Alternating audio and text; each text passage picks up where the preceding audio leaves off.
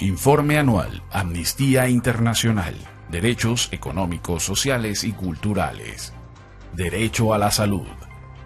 El informe semestral de la Encuesta Nacional de Hospitales publicado en octubre reveló que aproximadamente el 55% de los establecimientos públicos de salud carecían del acceso habitual de agua y que los pacientes debían llevar su propio material quirúrgico en un 90% de los casos.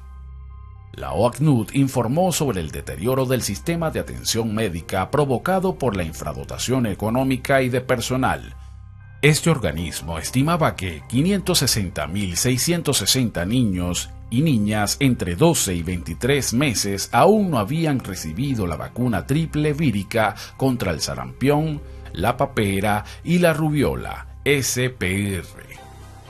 En agosto, 10 niños y niñas desarrollaron meningitis tras recibir tratamiento para la leucemia.